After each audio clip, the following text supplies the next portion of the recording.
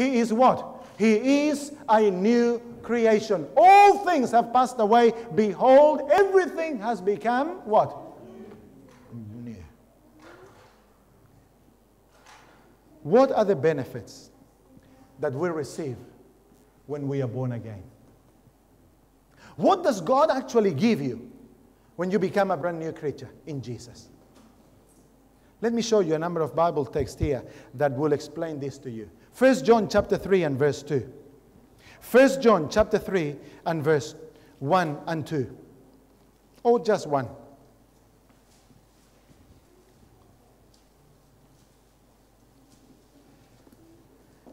First John chapter 3 verse 1 the beloved apostle writes Behold what manner of love the Father has given unto us that we should be called the children of God. And then verse 2 says, Beloved, now we are children of God. The first gift that God gives you in the new birth experience is a legal declaration. God declares you his legal child, his legal son, his legal daughter. In other words, friends, you and I who run away from God, now God is adopting you back into His family, and nothing can separate you from His hands unless you choose to rebel against Him again. You may fall, you may muck it up, but if you continue to believe in Jesus, if you continue to, to, to confess your state of surrender to Him, nothing can separate you from His hands. And as a father, He has committed Himself to make you ready to be in His kingdom when Jesus returns. Second, there is another benefit given to us by, by the Lord in Colossians chapter 1, verses 13 and 14. Colossians chapter 1, verses 13 and 14.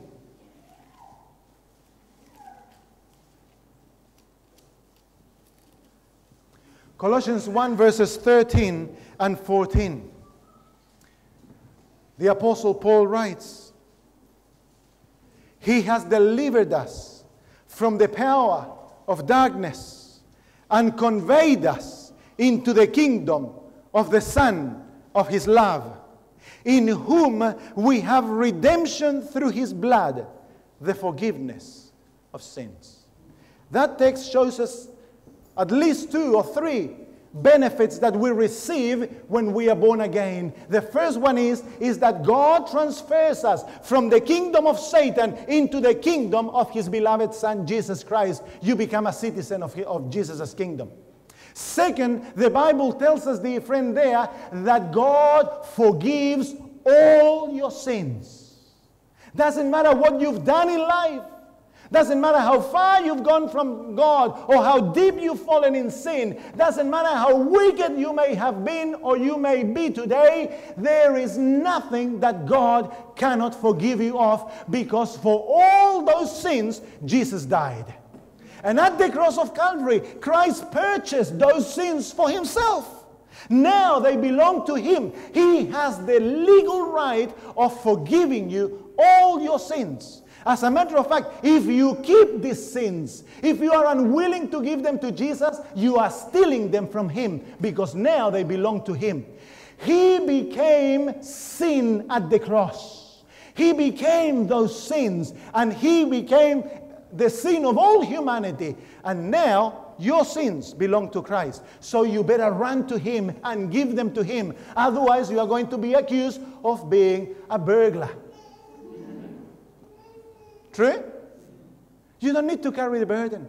In the, in the experience of the new birth, the Father says, My son, give me that. It's mine. I give you what belongs to my son, and it is his beautiful character.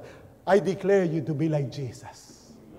You have never sinned. You have never existed until that moment. Now you are my son in Jesus Christ. Oh, what a wonderful benefit, isn't it? Another benefit that the Lord gives us when we are born again is found in 1 John chapter 3 and verse 9. And I get very excited about this. 1 John chapter 3 and verse 9. 1 John chapter 3 and verse 9. Whoever has been born of God, notice what it says now, does not sin. For his seed remains in him, and he cannot sin because he has been born of God. Man, that text hits us in between the eyes, doesn't it? When you read that text, it's as if the Lord is grabbing you by the tie and going, boom, boom. Why? Friends, the third benefit given to us through the new birth experience is that you and I are no longer slaves of Satan. And let us repeat it aloud so that he hears it. Satan, we are no longer your slaves. It's as simple as that, friends. The Bible tells us in Romans chapter 6 that he who has died with Christ and has been risen to live a new life in Jesus is no longer a slave of sin. Now you and I are slaves of God, as slaves of righteousness. Therefore, friends, as we used to surrender ourselves to serve Satan because we couldn't do but nothing else than sin, now that we have been born again and a new human lives, which is Christ Jesus, you and I are slaves of righteousness. What does that mean? It means that if we allow Christ to live in us, we will not but be able to produce righteousness. Do you believe it? That's where the rubber hits the road. It's written in the scriptures. And if it is written in the scriptures, it's true. Amen? What else does the Lord give us? What else does the Lord give us as a gift? Romans chapter 8 and verse 1. Romans chapter 8 and verse 1.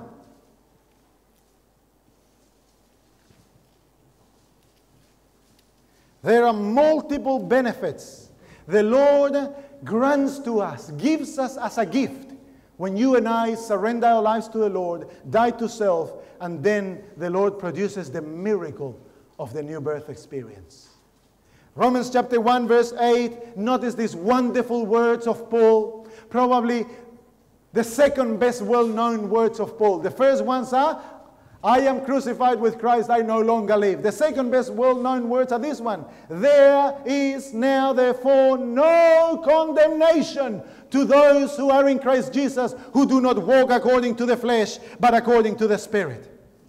There is, therefore, friends, when you are born again, when you have surrendered your whole life to the Lord, and the miracle of conversion happens, and you are born as a creation from heaven, you are no longer condemned.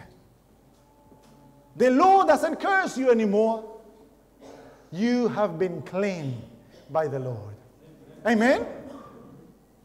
Well, let me give you another one. There is there's so many that we could spend the whole afternoon looking at these things. Romans chapter 5 and verse 1. Romans chapter 5 and verse 1. Remember, friends, that we read in the second presentation that God loves humanity. Amen? God is passionate and He wants to see us happy. The great purpose of God in life is to have a children that are happy in spite of what comes to them. And through the plan of redemption, through the plan of salvation, God has made it possible for those who believe to be turned completely into a new creation. Romans chapter 5 and, and verse 1 says these wonderful words Therefore, having been justified by faith, we have peace with God through our Lord Jesus Christ. And you know what? This is the first personal experience you receive when you surrender to the Lord. That soul that was in turmoil that soul that was seeking for enjoyment and that soul that was seeking for peace, that soul that was seeking for joy in the world, in the, in the things of the world, and in, in relationships and in possessions, this soul that was, was in constant turmoil, turmoil, when it comes and surrenders at the feet of the cross and is born again, the first thing you notice is that wonderful peace, that deep sense that everything is all right. The soul that is at peace no longer is afraid of death. The soul that is at peace is no longer afraid